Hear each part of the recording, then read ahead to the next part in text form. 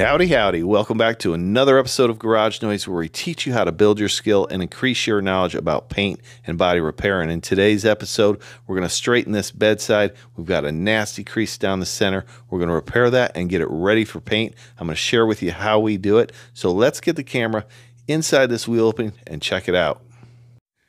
Taking a look at this wheel housing, we can see we've got a buckle right there.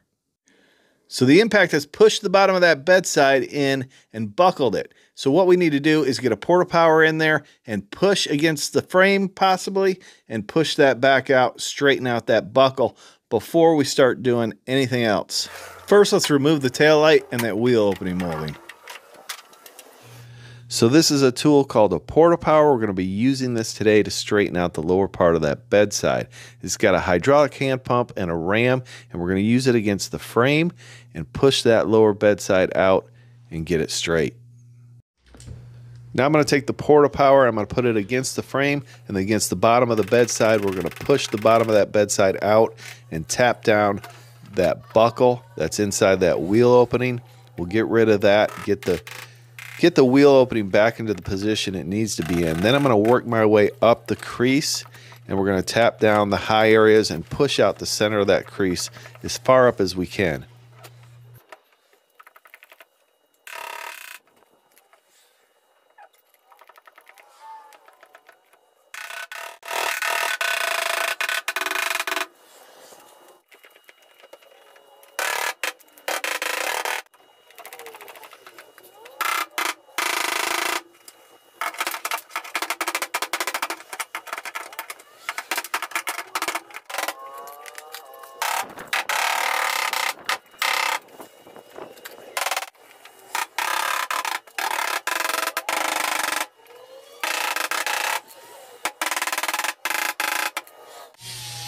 Now I've got this bedside pushed out as much as I can with the Porta Power. We're going to switch tactics. We're going to grind it down to bare metal, and then I'm going to use a long dent tool to push out that crease. Now I'm going to switch over to the G90E and we're going to pull out some of these smaller dents, fine tune those, tap down any high areas, and then we're going to switch over to the big PDR bar and do some major pushing on that crease.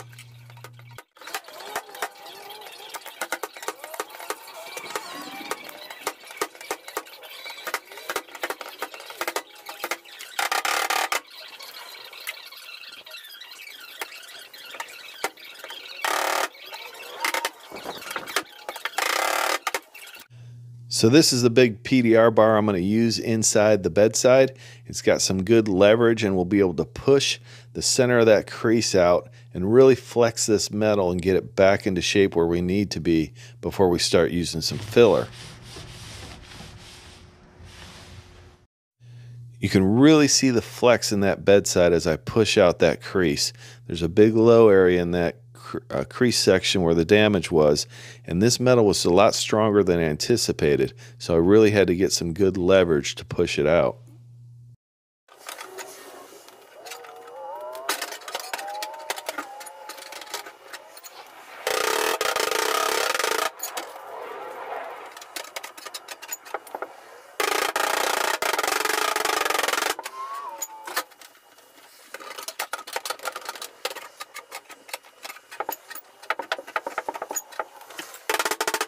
I can really feel a big crown on the front part of this dent, so I'm going to mark it with my Sharpie so I know where to tap that down as I'm pushing.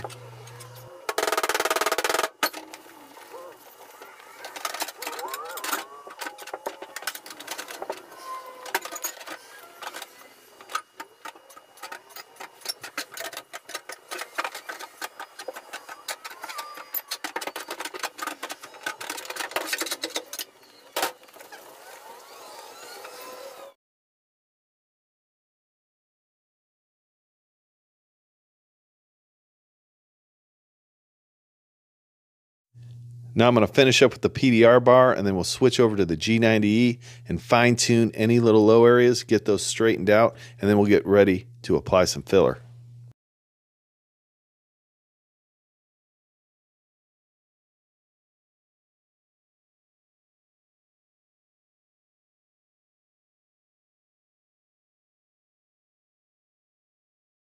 I'll apply a little guide coat here to help me locate any low areas.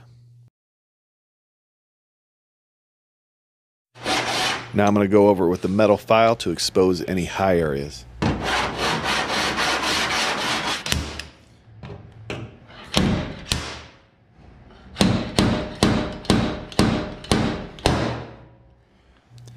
Now we're ready for some filler, and the filler we're going to use today is the Roberlo Maxi Fill. I've got a good amount here.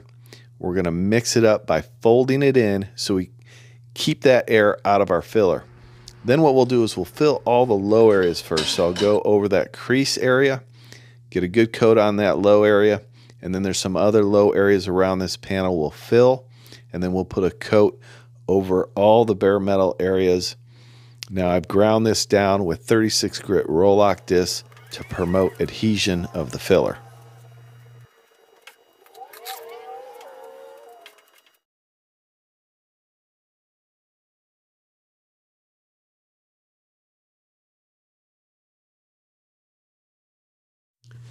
There's no way around it. This is a lot of sanding on this filler. So for that, I'm using 36 grit on my Mud Hog.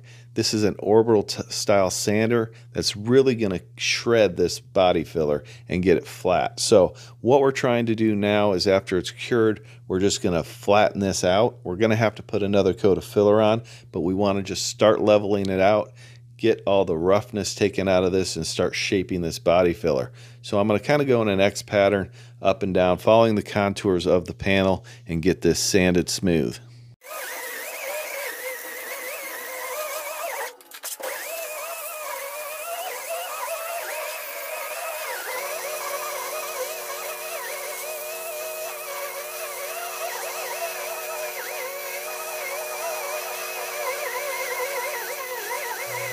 Now that I've got it all shaped, I'm going to switch over to the long board with some 36 grit on it, and that's going to help shape it even more. I put a little bit of a guide coat on there to show me expose any high or low areas, and we're going to start blocking this out and prepare for our next coat of filler.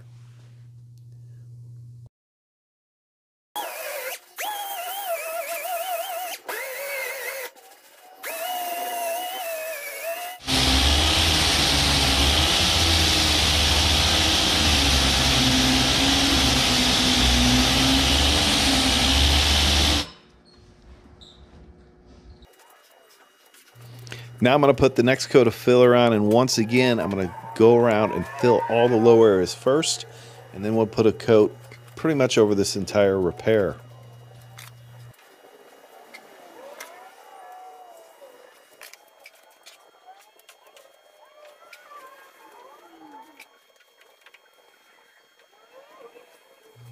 Once the filler has cured, I'm going to use my long block with some 36 grit sandpaper.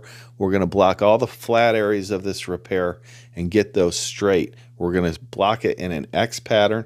That's how you're going to get this panel straight. Now, I'm not blocking any of those contours. We're going to do that later on.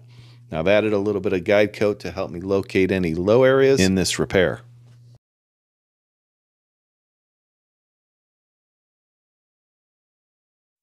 You'll see me use some different style blocks. I'll use an orbital sander. Um, I'll use some hand blocks, some different blocks for different sections of this repair. That's just a personal preference of what you use. Now down in the contours of the bottom of this door, I'm going to have to use a round block to get that contour around that body line straight. Here's one of the blocks I'll be using, and this is a really good block. It's made by Motor Guard. It's a straight block, but it's flexible. It is the hook and loop, but where that contour is, that kind of that wheel opening kind of flares out.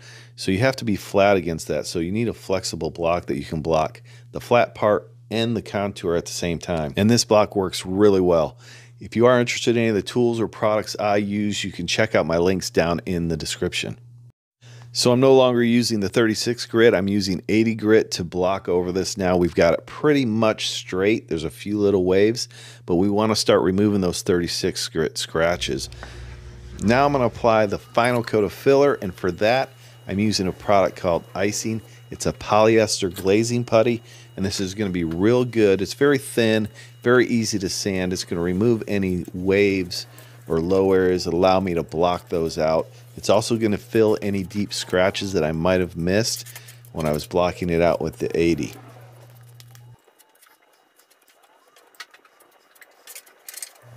Just to knock off the outer coat of this glaze, I'm going to hit it with some 80 grit on my long board, and then we'll probably go over it with 180 or 220.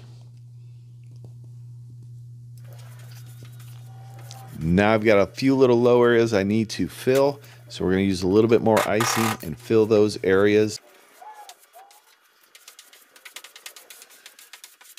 Before I start blocking this, I'm going to run over it with my 180 grit sandpaper and my orbital sander. But I went over it a little bit too early. It wasn't quite cured and see how it's gumming up the paper a little bit. So I did knock off the outer coating and then we started blocking it with some 180 grit.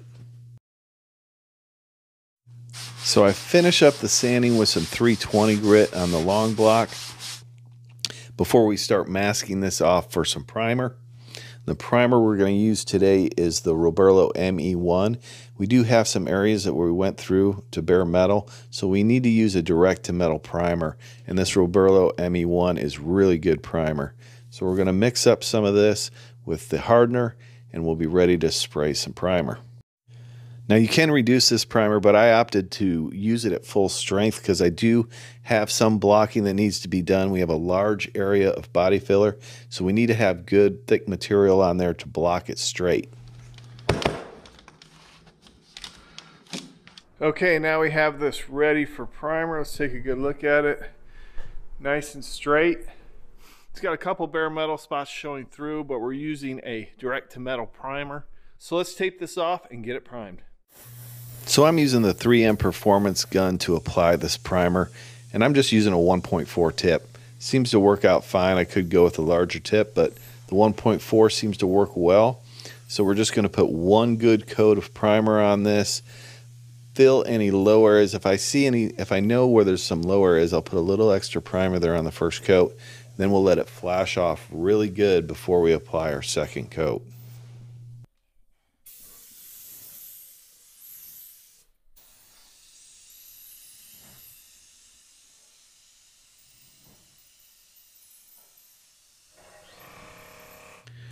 Okay, so if you look at this primer in the light, you can start to see how it's flashing off, starting to dry. We want to make sure it dries really well before we put our second coat on.